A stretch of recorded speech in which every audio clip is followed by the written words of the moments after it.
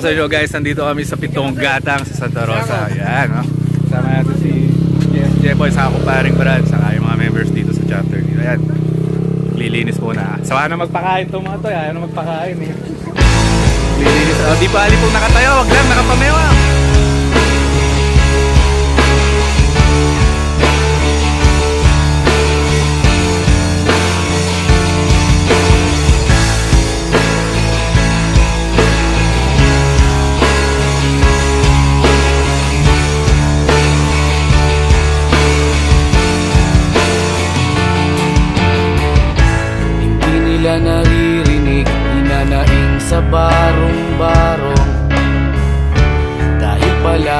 Nila'y may matibay na bubong. Hindi nila naririnig mga kumakalam na tiyan. Di tulad ng mesa nilang parang laging may handaan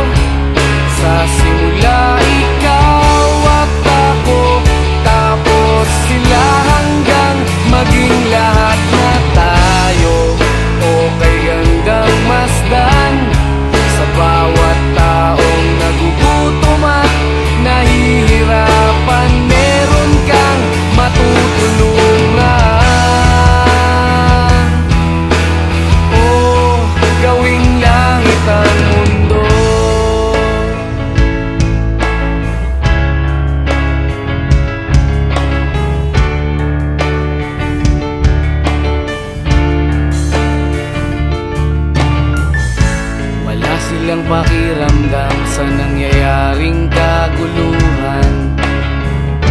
Basta mabulsa lang nila ang kaban ng